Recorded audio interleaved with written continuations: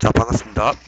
어, 이번 시간에는 자, 부정정 트러스를 해석하는 것에 대해서 한번 보겠습니다. 자, 방법은 자, 강성도법이고요. 강성도법을 통해서 자, 첫째, 미지수 선정을 합니다. 자, 먼저 이거를 제가 그림을 새로 한번 표현해 보겠습니다.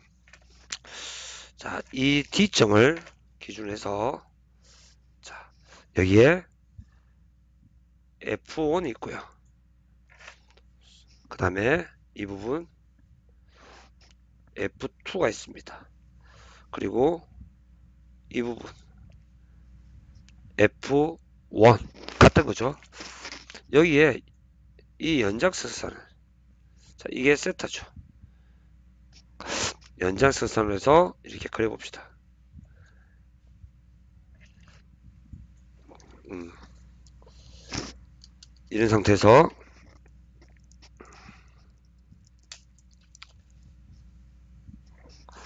자 이게 직각인 거 이게 직각이라고 하면 자 우리가 일반적으로 생각하는 거. 억각이라고 하죠? 서로 억각 같이 세타죠? 그러면 자 이거를 우리가 어 앞에서 베타라고 했으니까 통일하겠습니다. 이 부분을.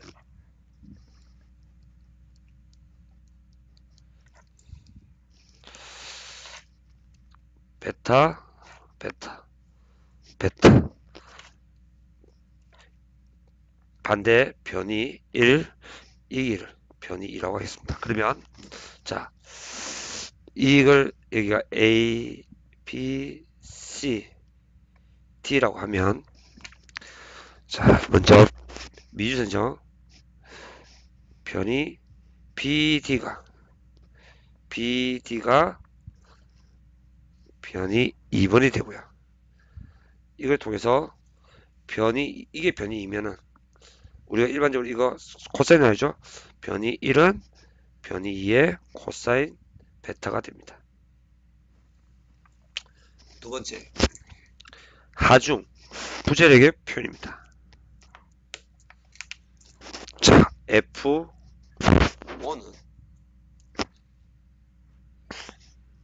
L1분의 2A의 1는 자 L1은 자 F1은 이걸 L1이라고 하겠습니다. 그러면 지금 현재 이 길이가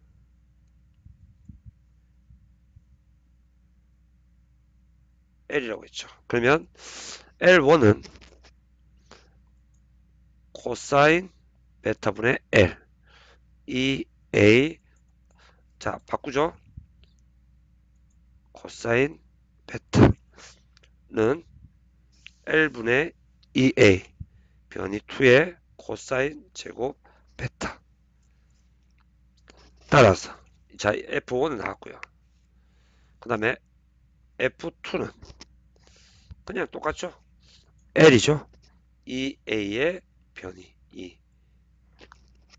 자, 이 상태에서 힘의 방정식입니다.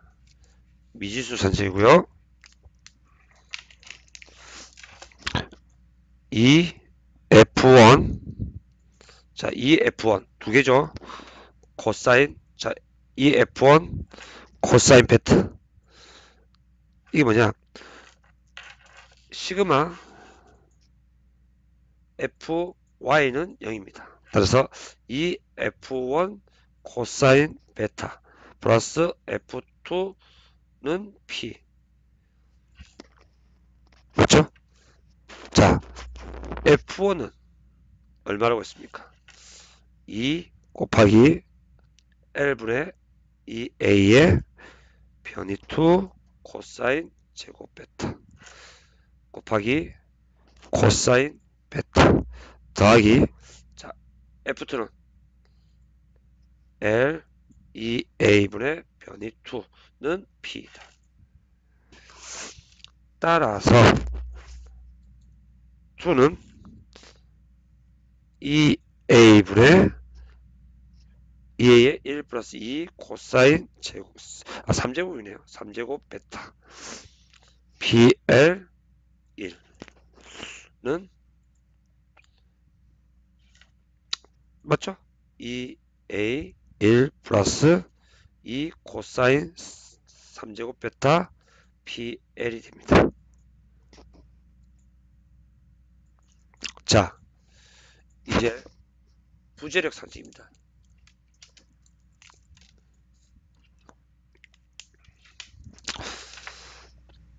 F1은 L분의 2A의 변위 2 코사인 제곱 베타.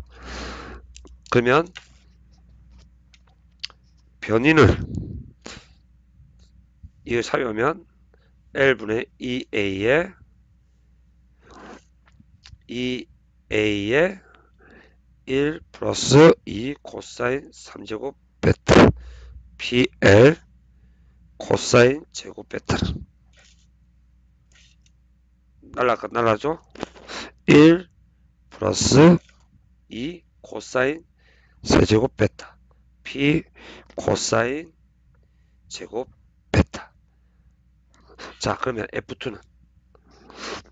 L분의 EA의 변위 2는 L분의 EA의 EA 1 플러스 2 코사인 3제곱 베타 PL은 제곱방을 보니까 1 플러스 2 코사인 세제곱 베타 P F1, F2 자 마지막입니다. 이제 처짐입니다.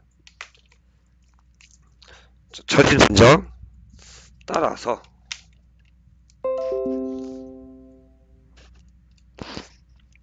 투는 나와있죠?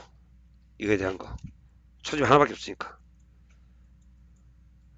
2a 1 플러스 2 코사인 3세 베타 pl 이런 식으로 됩니다.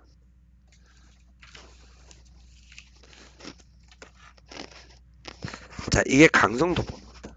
강성도법 이해하시겠죠? 그런데 뭐 이까지 따라서 이 강성도법으로 해서 부정적 트러스를 해석하는 방법은 먼저 미지수를 산정하고요. 하중 부재력을 표현하고 힘의 평형 변형 시 미지수를 산정합니다. 그 다음에 부재력을 산정을 해요. 이게 흐름이에요. 미지수 변이 2, 그 다음에 F1, F2가 나오고 그 다음에 미지수를 이렇게 산정하죠. 근데 부재력도 나오죠. 결국에는 처짐이 얼마다 이렇게 나옵니다.